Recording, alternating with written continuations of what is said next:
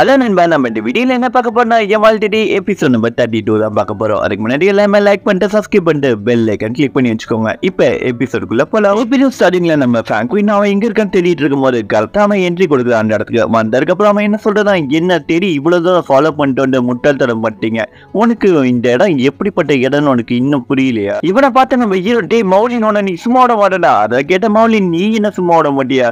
இந்த இடத்தோட பவர் என்னன்னு இப்ப உங்களுக்கு காட்டுறங்கிற மாதிரி சொல்லிட்டு டீமன் லார்ட் உங்களோட சக்தியை எனக்கு கொடுங்க. உங்களோட பவர் எனக்கு கொடுத்தீங்கன்னா இங்க ரெண்டு பேர் துள்ளிட்டு இருக்காங்க அந்த துள்ளல நான் நிறுத்திடுவேங்கிற மாதிரி சொல்லிட்டு அது டீமன் லால்கிட்ட ஒரு விஷயம் மாதிரி கேட்கறான் இவன் டீமன் செட் தானே? இவன் கேட்டா கண்டிப்பா கொடுக்காம இருக்க முடியுமா என்ன? இந்த இடம் இவங்களோட இடம் தானே?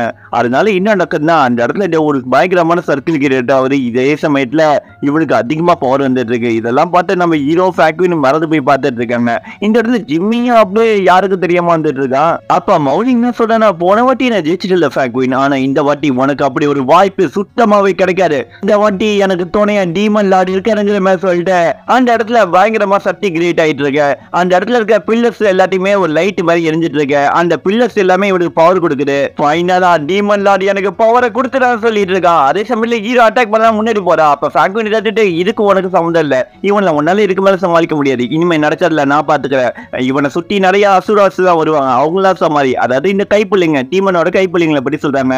அதுக்கப்புறம் நம்ம ஃபிராங்க்வின் மேல என்ட்ரி கொடுத்து டிராகன் ஃபார்ம்ல இருந்து ஒரு கட்டிங் ஃபார்முக்கு போய் அட்டாக் பண்ண பாக்குறாங்க அப்ப இந்த மௌலி என்ன பண்ணான்னா அவன் டார்க் எனர்ஜி வச்சு ஒரு எலும்பு குடும்பம் பயங்கரமா பெருசா அவனுக்கு கிரியேட் பண்ணுறான் அதுக்குள்ள அப்படியே ஃபிராங்க்வினை மாட்டி விட்டு கொண்டுலாம் நினைச்சா அந்த எலும்பு கூட சுக்குனதான் உடைக்கிறாங்க. அந்த இடமே நொறுங்கி விழுவுது. ஏன்னா ஃபிராங்க்வின் பவர் அந்த அளவுக்கு இருக்குல்ல. அந்த பில்லர்ஸ்லாம் உடஞ்சு அந்த இருக்கிற அந்த அசுரஸ் எல்லாம் அப்படியே கீழே விழுந்துட்டு இருக்காங்க. அவரை பார்த்த மௌலி நீ என்ன சாகலையான்னு பார்த்துட்டு இருந்தா அந்த அசுராஸ் எல்லாமே வரலாம் பார்த்ததுக்கு அப்புறம் நம்ம ஜிம்மி பாயிண்ட் ஓட ஆரம்பிக்கிறான் அந்த அசுரஸ் எல்லாமே நம்ம ஹீரோ அட்டாக் பண்ண வருது. நம்ம ஹீரோ கையில் இருக்கிற சோட வச்சு அப்படி லைட்டா அட்டாக் பண்ணா அந்த லைட்னிங்ல இதுங்களே செத்துட்டு இருக்கேன் அதெல்லாம் பார்த்தா நம்ம ஹீரோ இந்த ஸ்வாடுக்கு இப்படி ஒரு பவர் கிடைச்சிருக்கு. ஃபேக்வின் தான் காரணம் நினைக்கும் போது கன்னிவா அட்டாக் பண்ணிட்டு இருக்கு அந்த அசுராஸ்லாம் கூட்டமா இருக்கிற பார்த்ததுக்கப்புறம் நம்ம ஹீரோ கீழே இருந்து அதாவது மேல இருந்து கீழே குடிக்கிறான் குடிச்சிருக்கப்ப சேஃபாமே நம்ம ஹீரோ கீழே இறங்கலாம் கீழே இறங்கி பார்த்தா அந்த இடத்துல அந்த அசுராஸ் வந்துட்டு இருக்கு. சுட்டு போட்டுறது நம்ம ஹீரோவை நம்ம ஹீரோவும் வேற வழி சண்டை போட்டு ஆகணும் போல இருக்குங்கிற மாதிரி சொல்லிட்டு அங்க இருக்கிற ஸ்டாஃப் எல்லாருமே அப்படியே வெட்டி குவிக்க ஆரம்பிக்கிறான் அப்ப மௌலி என்ன சொல்றாங்க? ஏ ஃபேக் போய் என்னோட ஃபார்மேஷனை பாக்குறியாங்கிற மாதிரி சொல்லிட்டு அவன் மூஞ்சிலாம் மாறிட்டு இருக்கு. ஏன்னா அந்த பவர் அவனுக்கு அதிகமாக சொல்லிட்டு இருக்கேன்னா உடம்புல எல்லாம் பயங்கரமான மாற்றம் ஏற்படுத்திட்டு இருக்கு அப்ப அவ என்ன சொல்றான் இன்னைக்கு உன் காத்தா முடிஞ்சிரு ஃபேக் ஒரு டார்க் பீஸ்ட் அனுப்புறான். அதாவது ஒரு டார்க் எனர்ஜியை வச்சு அட்டாக் பண்ண அனுப்புறான். அந்த இடத்துல பயங்கரமா வைப்ரேஷன் பக்கத்துல அவரை பாக்குறேன் அப்புறம் ஃபேக் என்ன பண்ணாங்கன்னா அவங்கள்ட்ட இருக்க டிராவல் ப்ரொடக்ஷன் ஃபீல்ட வச்சு அவங்க ப்ரொடக்ட் பண்ணிட்டு இருக்காங்க. அதை சமாளிக்கவே முடியல அவங்க தண்டர் பவர் வச்சு முடிஞ்சது சமாளிச்சிட்டு இருக்காங்க. இதெல்லாம் கீழே இருந்து பார்த்தா ஜிம்மி வேற லெவல் பண்றானேப்பா. இந்த மௌலின்னு இப்ப இந்த அளவுக்கு பவர்ஃபுல் நினைச்சு கூட பார்க்கல.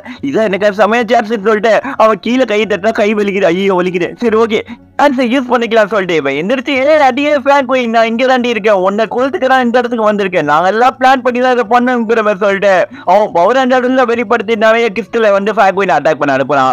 அதெல்லாம் பார்த்தா ஃபேக்வின் இந்த கோமாளி வரையாங்கிற மாதிரி பார்த்துட்டு அவங்க பவர் அந்த இடத்துல கொஞ்சம் அதிகப்படுத்திட்டு இருக்காங்க. அதே சமயத்தையும் என்னோட எட்டு ஜோசப் பிடிச்சல் இருக்கு. இதாண்டி உனக்கு தண்டனைங்கிற மாதிரி சொல்லிட்டு அட்டாக் பண்ண அனுப்புறான் அதை பார்த்த ஃபேக்வின் அவங்க தண்டை போற வச்சு ஈஸியாவே சமாளிச்சிடுறாங்க. அதை பார்த்து ஜிம்மி ஐயா நான் தெரியாம பண்ணிட்டு சொல்லிட்டு ஓட ஆரம்பிக்கிறான். அப்ப நம்ம ஃபேக்வின் அவரை ஒரே ஒரு அட்டாக் தான் பார்த்தாலும் லைட்னிங் எல்லாம் அல்ல அந்த நாய் மட்டும் ஆயிடுச்சு. அப்ப மௌலியனை பார்த்தா நான் உங்க கூட சண்டை போட்டு எனக்கு கால் வலிக்கிறங்கிற மாதிரி உட்காந்துட்டே சண்டை போட ஆரம்பிக்கிறான். அதை பார்த்து நம்ம உனக்கு அவ்வளவு தில்லாங்கிற மாதிரி சொல்லிட்டு அவன் டிராகன் அதிகப்படுத்தி அவன் பவர் அதிகப்படுத்தி அதை அந்த பீஸ்ட்டை கொள்ள பாக்குறாங்க அதே சமயத்துல மௌலின் அதை காப்பாத்த ட்ரை பண்ணா ஆனா அவனை எதுவுமே பண்ண முடியல. நம்ம பிராங்க் ஒயின் அந்த டிராகனை வச்சு அந்த மௌலினோட பீஸ்ட்டை கொண்டுறாங்க அப்ப இவனும் தள்ளி போய் விழுகுறான். அப்ப என்னால முடியல ரத்தம் வருதுங்கிற மாதிரி ரத்தம் கேட்கிட்டு இருக்கான். இங்க இப்படி எல்லாம் நடக்கும்போது கீழே பார்த்தா நம்ம ஹீரோ அந்த இடத்துல அந்த அசுராஸ் கூட பயங்கரமா சண்டை போட்டுட்டு இருக்கான். இருக்கிற அசுராஸ் எல்லாமே கொண்டுட்டு இருக்கான் அப்ப அந்த டிராகன் என்ன சொல்லுறான் இந்த அசுராஸுக்குள்ள ஒரு பவர்ஃபுல் சோர்ஸ் இருக்கும். அதை நீ எடுத்தனா உனக்கு இன்னும் கொஞ்சம் ஸ்பீட் கிடைக்கும். வேணா எடுக்கிறியங்கிற மாதிரி அதை கேட்ட நம்ம ஹீரோ அப்படிலாம் உன்னை இருக்கா என்ன? நீங்க என்ன சொல்றதுல உண்மையா என்னங்கிற மாதிரி அதை கேட்ட டிராகன் நான் சொல்றதுலாம் உண்மைதான். நான் இருந்த காலகட்டத்துல இது மாதிரி அசுராசுங்கிறவங்கலாம் நிறைய பேர் இருந்தாங்க. அவங்களுக்குள்ள ஒரு பிளட் லைன் இருக்கும். அதாவது அவங்களுக்குள்ள ஒரு ஸ்டோன் இருக்கும். அதை எடுத்தனா உனக்குள்ள பயங்கரமான பிசிக்கல் ஃபார்மேஷன் மாறும். அந்த ஸ்டென்ட் உன்னால கால்குலேட்டர் பண்ண முடியாதுங்கிற மாதிரி சொல்லிட்டு இருக்கான். அதை கேட்ட என்ன நான் அவனுக்கு ஹெல்ப் பண்றேங்கிற மாதிரி சொல்லிட்டு அவர் பவரை இவனுக்கு கொடுக்க ட்ரை பண்ணிட்டு இருக்காரு அவர் அந்த இடத்துல அவர் எனர்ஜியை மேக் பண்ணி அதாவது நம்ம ஹீரோக்கு கொஞ்சம் பவர் கொடுத்து அவனை இன்னும் கொஞ்சம் பலசாலியாக மாற்ற ட்ரை பண்றாரு. அதை கேட்ட நம்ம ஹீரோ எதா இருந்தாலும் சீக்கிரமா பண்ணுங்க. இங்க இருக்கிறவங்க சமாளிக்க முடியலங்கிற மாதிரி சொல்லிட்டு இருக்கான். அதுக்கு அந்த டிராகன் என்ன சொல்றேன் நானும் முடிஞ்சளவுக்கு சீக்கிரமா பண்ணதான் ட்ரை பண்றேன். ஆனா இப்ப இருக்கிற என்னோட ஸ்டென்ட்டை வச்சு எதுவுமே பண்ண முடியாது போல இருக்குங்கிற மாதிரி சொல்லிட்டு இருக்கான். அதை கேட்ட நம்ம ஹீரோ சரி ஏதாவது ட்ரை பண்ணுங்க சீக்கிரமாங்கிற மாதிரி சொல்லிட்டு அங்க இருக்க அசுரஸ் எல்லாம் பொண்ணுட்டு இருக்கான் நம்ம ஹீரோ பிடிச்சி இவனுக்குள்ள இருக்குள்ள இவன்ட்டே எடுங்க. அதை கேட்ட டிராகன் சரி இவன்கிட்டே எடுக்கலாங்கிற மாதிரி சொல்லிட்டு அந்த ஒரு போர்ட்டல் மாதிரி கிரியேட் பண்ண ஒரு எனர்ஜி சோர்சஸ் அதை கிரியேட் பண்ணதுக்கப்புறம் நம்ம ஹீரோ வயிற்றுக்குள்ள இவன் கையை வெளில விட்டு இவன் இடேட்லேருந்து அந்த ஸ்டோனை வெளில எடுக்கா. அதே சமயத்தில் இந்த அசுரன் நடந்த டிஸ்டர்ப் ஆயிடுது அந்த ஸ்டோனை பார்த்த நம்ம ஹீரோ இந்த ஸ்டோன் என்ன பண்ணும்? ஒரு பவர் கொடுக்குமா என்ன? கிரியேட்டர் மாதிரி சில அசுர ஸ்டோன் நம்ம ஹீரோ அட்டாக் பண்ண வருது. அதை பார்த்து நம்ம ஹீரோ அந்த ஸ்டோன் எடுத்து வாயில போறோம் அதுக்கப்புறம் நம்ம ஹீரோ உடம்புல பயங்கரமா சேஞ்சஸ் வந்து ஃபிசிக்கல் ஸ்டேட்ல அதிகமாயிட்டு இருக்கு. அப்ப எல்லா அசுராஸோட நம்ம ஹீரோ அட்டாக் பண்ண வருது. அப்ப சடனா ஒரு கோல்டன் எனர்ஜி வந்து இவங்க எல்லாரையுமே அட்டாக் பண்ணி தள்ளி விட்டு அவங்க யோசிக்கிறதுக்குள்ள நம்ம ஹீரோ ஸ்பீடா ஒரு மூவ்மெண்ட் பண்ணி இருக்கிற அசுரஸ் எல்லாமே அவன் சோட வச்சு கொண்டுடுறா எல்லாத்தையுமே ஒரு அசுரா பார்த்துட்டு இருக்கான். இதுங்க எல்லாத்துக்குமே ஒரு கமாண்டர் மாதிரி இருப்பான். அவன் தான் இவன். யாரு இந்த பையன்? இவனுக்குள்ள எப்படி இப்படி ஒரு சக்தி வந்தது? அந்த ஸ்டோன்ஸை எடுத்து இந்த அளவுக்கு ஸ்பீடா ஒருத்த மூவ்மெண்ட் பண்ணியிருக்கானா? இதெல்லாம் அந்த காலத்துல பார்த்த நினைவுகள்லாம் வந்துட்டு இருக்கு. அதே சமயத்துல நம்ம ஃபேன் குயின் இருக்காங்களே பிடிச்சி நம்ம மௌலியனை போட்டு அட்டாக் பண்ணிட்டு இருக்காங்க.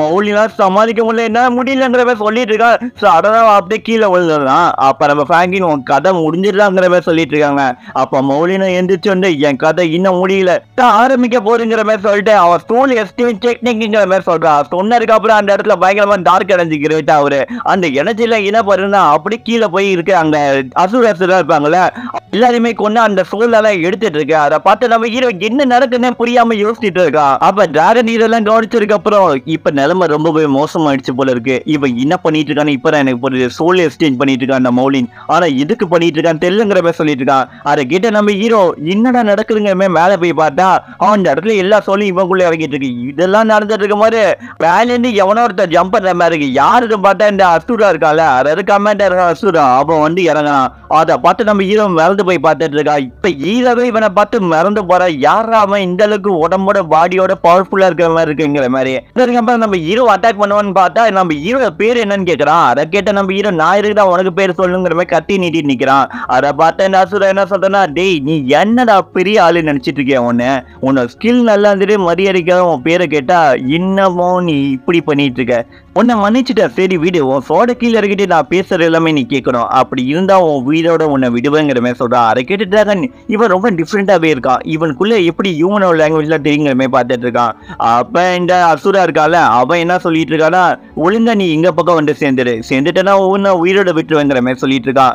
அதை கேட்டு நீ இவன் என்ன முடிவு எடுக்க போறான்னு பார்த்தா நம்ம ஹீரோ நான் அவனை அட்டாக் பண்ணி கொண்டு விடாங்கிற மாதிரி சொல்றான். அதை கேட்ட இந்த அசுரா இன்னும் தைரியம் தான் இப்படி பேசியிருப்பேங்கிற மாதிரி சொல்லிட்டு அட்டாக் பண்ண ஆரம்பிக்கிறான். இவங்க ரெண்டு பேருக்குள்ளயும் பயங்கரமா சண்டை நடக்குது அசுரா தான் முடிஞ்ச அளவுக்கு டாமினேஷன் கொடுக்குறான் நம்ம ஹீரோவோட சமாளிக்க முடியாம ஓடிட்டு இருக்கான் அந்த அசுரர் சரணா வந்து நம்ம ஹீரோ பக்கத்துல வந்து அட்டாக் பண்ண வரா அப்ப அவன் சோட வச்சுட்டு அடுக்கிறான் அதை நம்ம நம்ம அசுரா என்ன பண்ணா ஒரு சாதாரண அட்டாக் பண்ணா அதையே நம்ம ஹீரோ பின்னாடி போய் விழுவுறான் அவன் கண்டிப்பா நம்ம ஹீரோ அட்டாக் பண்ணி கீழே தள்ளி விட்டுறான் ஹீரோ எந்திரிக்க முடியாம கஷ்டப்படுறான் அதை பார்த்து இந்த அசுரா என்ன ரொம்ப டிசப்பாயின்மெண்ட் பண்ணிட்டேன் உன்னோட பவர் இந்த அளவுக்கு வீக்கா இருக்கும் நினைச்சு கூட பார்க்கலங்கிற மாதிரி சொல்லிட்டு இருக்கான் இதோட இந்த எபிசோட் முடிஞ்சிட்டு இதுக்கப்புறம் நடக்க போறது எல்லாமே நம்ம அடுத்த எபிசோட பார்ப்போம். அதை பக்கத்துக்கு மறக்காம லைக் பண்ணுங்க சப்ஸ்கிரைப் பண்ணுங்க ஷேர் பண்ணுங்க. இது ஏஜே வாய்ஸ் ஓவர்